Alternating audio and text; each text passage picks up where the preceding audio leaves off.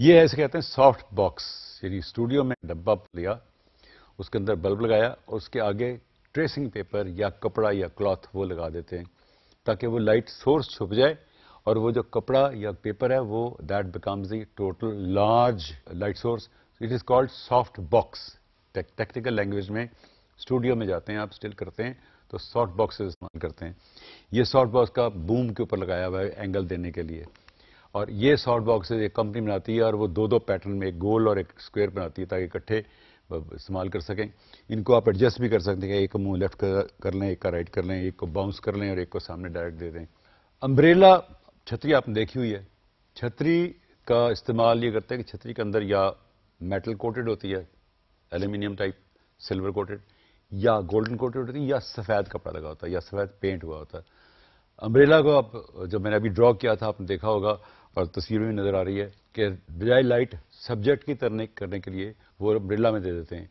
Umbrella makes the source again very very big large source तो वो चारों तरफ़ से लाइट जब आती है, फैल के आती है तो सॉफ्ट लाइट बन जाती है। ये अम्ब्रेला को सॉफ्ट करने की यानी फ्लैश लाइट को सीधा कर दें तो वो हार्डेस्ट पॉसिबल लाइट है। ये छोटा सा बल्ब होता है, बहुत पावरफुल होता है। और उसको रिवर्स कर देते हैं बाउंस करते हैं रिफ्लेक्ट करते हैं अम्ब्रेला से, या किसी रिफ्लेक्टर से, या छत से। दैट बिकम सॉफ्ट लाइट उसके बाद आप स्टिल फोटोग्राफी करते हैं। ये एक तस्वीर आप देख रहे होंगे। ये हम करते हैं इससे यूजली हम इसे कहते हैं वाइट टेंट टेम्प्रेरी काम करना हो तो हम वाइट कागज़ का एक गोल सा दायरा बना लेते हैं। ऊपर भी कागज़ वाइट नीचे भी कागज़ वाइट और साइडों पे भी कागज़ वाइट लगा लेते हैं और उसकी वॉल्स पे से रिफ्लेक्ट कर लेते हैं या उसके बाहर लाइट लगा देते हैं। तो इसे कहते हैं लाइट टेंट उस टेंट के अंदर सॉफ्ट एज पॉसिबल लाइट आती है।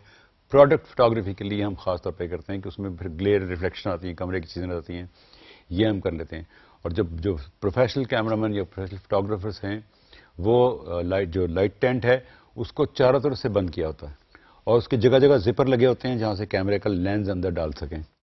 और लेंस के आगे भी एक वाइट डिस्क का फ़िल्टर की जगह वाइट डिस्क लगा देते हैं, ताकि उसकी बॉडी का जो काला रिंग है, वो भी नज़र ना आए। तो वो उसमें पीक कर लेते हैं, चारों तरफ़ से सॉफ्ट लाइट होती है लाइट बाहर से नज़दीक करके और दूर करके हार्ड सॉफ्ट कर लेते हैं, की लाइट बना लेते हैं, सॉफ्ट लाइट बना लेते हैं, रिफ्लेक्शन के लिए कर लेते हैं, बैक लाइट बना लेते हैं, उस टेंट के बाहर बाहर से। ये एक वो तस्वीर है, उसका सैंपल है अंदर से दिखाया हुआ है कि स्टिल कोई ऑब्जेक्ट है, छोटा सा, उसकी खूबसूरत तस्वीरें नहीं है। उसमें ना तो रिफ्लेक्शन आए, ना ग्लेयर आए, ना उसके शेडोज पड़े। तो ये प्रेस में या रिसालों में जो तस्वीरें देखेंगे आपने, वो इस तरह खींचते हैं।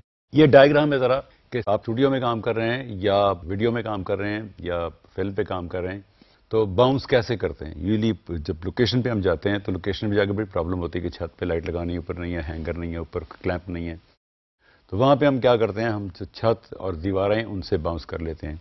ऊपर छत से बाउंस किया है, इसे कहते हैं सिंगल बाउंस छत से बाउंस की, सामने जो एक्टर या ऑब्जेक्ट पड़ा हुआ है उसको शूट करने के लिए, कैमरा वहाँ शूट करता है तो सॉफ्ट लाइट मिलती है और चारों तरफ़ से मिलती है। जो सामने उसके लाइट पड़ रही होती है, जिस तरह से बाउंस की हुई है, वो की बन जाती है। इधर लाइट थोड़ा कम होगी तो फेल बन जाएगी। उसी की दीवार पे लाइट वो चलेगी तो वो बैकग्राउंड की लाइट बन जाएगी। बैक लाइट नहीं बनेगी बैक ड्रॉप लाइट बन जाएगी। एक डबल बाउंस होती है कि मैं बजाय छत पे बाउंस करने के, जहाँ से कैमरा रखा हुआ है, उसकी दीवार पे बाउंस कर दिया, वहाँ से वो बाउंस होकर छत पे जाएगी, छत से वो वापस जाएगी। ये और सॉफ्ट हो जाएगी। ड्रीमी ड्रामेटिक सॉफ्ट लाइट करने के लिए ख़ास तौर पर जब ख़वातीन यंग गर्ल्स या छोटे बच्चों की फोटोग्राफी करते हैं तो हम ये टेक्निक इस्तेमाल करते हैं कि आप दो डबल बाउंस कर लेते हैं, ताकि सारे कमरे में से लाइट बाउंस हो के आए तो सब तरफ़ से लाइट आए तो जो आगे बच्चा बैठा हुआ है, या छोटा बच्चा है सॉफ्टनेस है, उसकी सॉफ्टनेस को और इन्हांस कर दें। ये एक टॉप से व्यू दिखाया मैंने, दिखाने के लिए आपको कि बाउंस लाइट को इस्तेमाल करते हैं। एक अम्ब्रेला है अम्ब्रेला में स्टूडियो फ्लैश लगाई हुई है, सामने कैमरा है, बंदा उसकी तरफ़ देख रहा है। अब इसकी जब पोर्ट्रेट बन रही है, उस पोर्ट्रेट में सॉफ्टेस्ट पॉसिबल लाइट होगी। दीवार पीछे जो उसके फिल मिल जाएगी थोड़ी सी मिलके। जो बचे कुछ लाइट है, उसकी बैकड्रॉप पे चली जाएगी। बैक लाइट देने की ज़रूरत नहीं पड़ेगी सिंगल लाइट से ये सारे काम एक फ्लैश से हम कर सकते हैं। नेक्स्ट है स्टूडियो में मॉडल की तस्वीर लगाने के लिए। डायरेक्ट लाइट लगाएँगे, हार्श लाइट लगाएँगे, मॉडल है, फीमेल है, और रिसाले में छपनी है एड में जानी है। तो आप देखेंगे तीन अम्ब्रेला लगी हुई, एक बैक लाइट के लिए, एक की लाइट के लिए, एक फिल के लिए। थ्री पॉइंट लाइटिंग होती है तो वीडियो में फ़िल्म में फोटोग्राफी में इस्तेमाल होता है। लिया हुआ नेचर से ही है अल्लाह ताला सूरज निकालता है, उसी को सूरज की रिफ्लेक्शन में बाउंस दे के फिल बना देता है, दो सोर्सेज हो गई और वही सूरज बैकड्रॉप पे दे के लाइट दे देता है तो थर्ड सोर्स हो जाती है, ताकि बैकग्राउंड से सेपरेट हो जाए बंदा। तो कुदरत के उस सिलसिले को एनालाइज करके उन्होंने तरीका ये निकाला कि हम वो परफेक्शन जो अल्लाह ताला कर सकता है, वो हम नहीं कर सकते। इमिटेट कर सकते हैं कि की सोर्स सूरज है रिफ्लेक्शन आसमान से आती है फिल बैकड्रॉप पे या बैकग्राउंड पे या बैकलाइट वो हम खुद क्रिएट कर लेते हैं। तो ये तीनों वो इमुलेशन वहाँ से की हुई है। सोर्स वही है लेकिन बंदे ने साइंटिफिक उसको बना के कोर्स लाइन में बना के इसको किताबों में छाप दिया कि three point three point lighting basic है। अगर आपको थ्री पॉइंट लाइटिंग आप हाथ उंगलियों कर लें और आपने कहीं सेट पे किसी पे लाइटिंग करनी है तो अपने हाथ की तीन उंगलियाँ ऐसे रखें और जितने लोग हैं एक उंगली को, को काला कलर लगा लें ताकि की आपको याद रहे।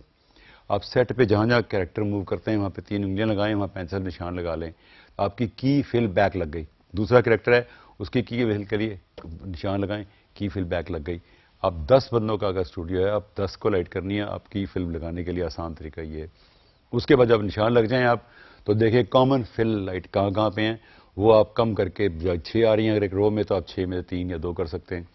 की कॉमन अगर कहीं जा सकती हैं, एक की बैक एक की बन जाए तो आप लाइटिंग कम कर सकते हैं। लेकिन ओरिजिनल तरीका इस थ्री पॉइंट लाइटिंग ये एक प्रोफेशनल स्टूडियो है यूरोप का, जो अपनी फोटोग्राफी करता है। Product photography perfume photography advertising के लिए मॉडल की फ़ैशन की। ये उनके पास फ्लैशेस स्टूडियो फ्लैशेस एक्सपेंसिव वाली बहुत पावरफुल होती हैं। तो उनकी अम्ब्रेला भी बहुत बड़ी होती हैं और अम्ब्रेला के अलावा उसके ऊपर आगे फिर वो सेलोफेन लगा लेते हैं या प्लास्टिक शीट लगा लेते हैं या कपड़ा लगा लेते हैं। तो they become the softest light boxes उनसे वो फोटोग्राफी करते हैं। तो आपने देखा होगा रिसालों में जो वेस्टर्न मॉडल की तस्वीरें होती हैं, ऑब्जेक्ट्स की होती हैं, परफ्यूम्स की होती हैं, किसी ड्रिंक की होती हैं, उनमें शेडो नहीं नज़र आता। और जो उनमें रिफ्लेक्शन दिखानी होती है कि जी किसी चीज़ की रिफ्लेक्शन आनी है, थर्ड, थ्री में अगर आप देखें तो बोतल में कोई रिफ्लेक्शन नज़र आ रही होती है। वो रिफ्लेक्शन के लिए हम ब्लैक और वाइट ऑब्जेक्ट सामने हैंडल से लटका देते हैं, बजाय कि वो स्ट्रे, हर चीज़ नज़र आनी शुरू हो जाए। तो जो हम जहाँ दिखाना चाहते हैं, वहाँ हम वो ऑब्जेक्ट को हिला के ले जाते हैं, उसका रिफ्लेक्शन दिखाते हैं उसको। तो this is a professional studio light करने के लिए देखें, उसने थ्री पॉइंट लाइटिंग की हुई है, लेकिन उसने बैक ड्रॉप और बैकग्राउंड दो लाइटें फ़र्क की हुई हैं। अगले में है माल्टे की तस्वीर और इनकी उतारने के लिए।